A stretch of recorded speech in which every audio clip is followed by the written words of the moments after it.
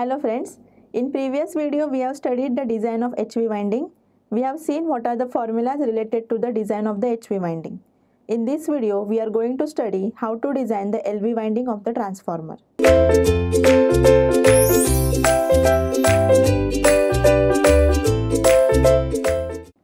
The first step in designing of the LV winding is calculation of the number of turns per phase. So the formula which is to be used for the calculation of the number of turns per phase is NP is equal to HV side voltage divided by voltage per turn where NP is equal to number of turns of primary or HV winding.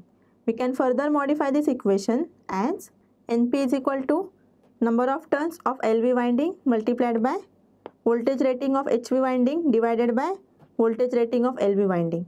We can further modify this equation as P is equal to Ns multiplied by Vp divided by Vs. Now, when we calculate the turns by using this formula, we might get the fraction value. The value of this fraction should be rounded up because the number of turns are never in the fraction value. Now, let us see what is the second step. After calculating the number of turns of the HV winding, next step is to calculate the current of the HV winding. So, the formula for calculation of current can be written as IP is equal to kVA multiplied by 10 raised to 3 divided by 3 into HV side voltage rating. The unit of the current is ampere. We can further modify this equation as IP is equal to kVA multiplied by 10 raised to 3 divided by 3 into Vp where IP is the current in HV winding. Now in this case we have also to assume the value of del that is current density. So let us assume these values. Suppose the transformer is the distribution transformer at the HT side. Then for this type of transformer, the value of current density should be between the range of 2 to 2.5 ampere per mm square. If the transformer is of the type of power transformer, then the value of current density should be 2.4 to 3.5 ampere per mm square. Now the next step for the design of the HV winding is to determine the conductor size so let us see how to determine the size of the conductor. Now in case of HV winding, following types of conductors can be used. So the three types of conductors which are used in the HV winding are cylindrical type, crossover type and continuous disc type.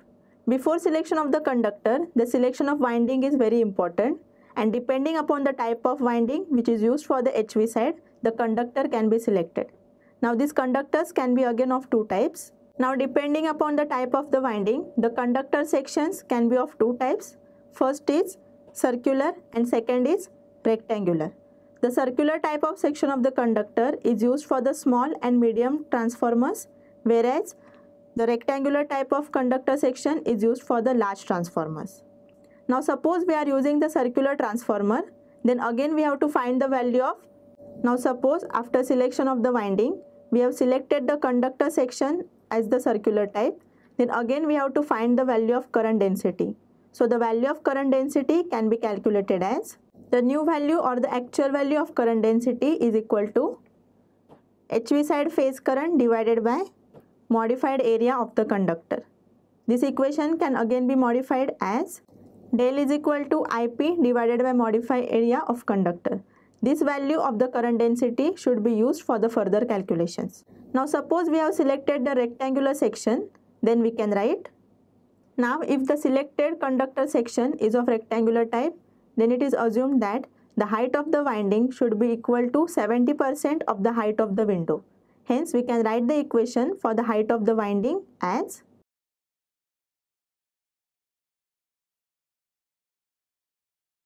h is equal to 0.7 multiplied by hw.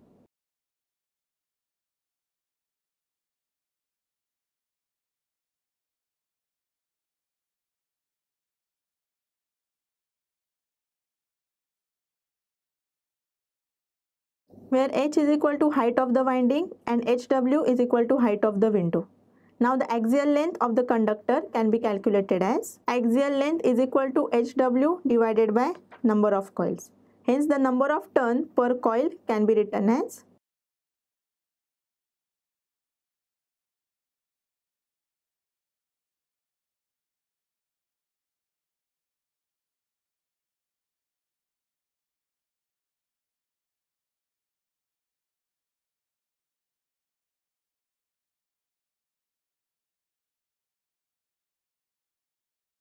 Therefore, number of turns per coil axially is equal to axial length of one coil divided by diameter of insulated conductor.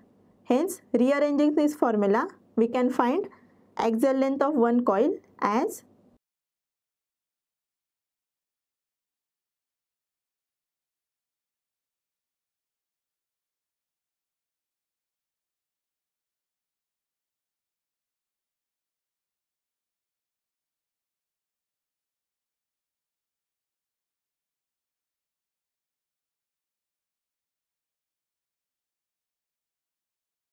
Therefore, axial length of one coil is equal to number of turns per coil axially divided by diameter of insulated conductor. Now let us consider there are 16 coils. Hence, we can write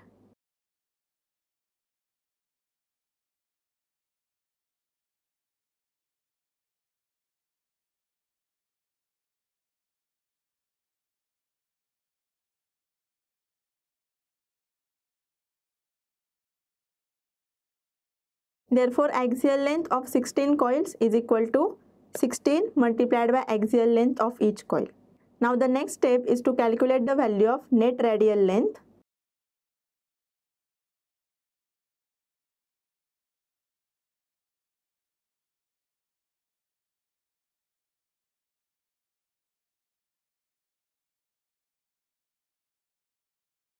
Now if we assume that there is an insulation of 30 mm, then the total insulation of 30 plus 30 that is 60 mm should be added at both the sides.